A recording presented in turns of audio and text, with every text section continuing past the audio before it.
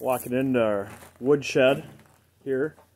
Got a bunch of slab wood piled up that we start the fires with in the masonry stove. But that right there, that's there's two boxes of seed starting mix, potting soil. It's also momentum. Money spent, the Greenhouse Mega Store, to get our greenhouse going.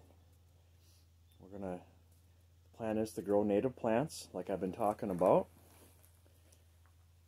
And we're going to sell them as much as we can. And,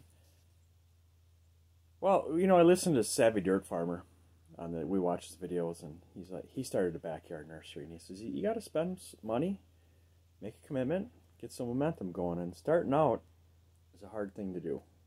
Thanks for watching.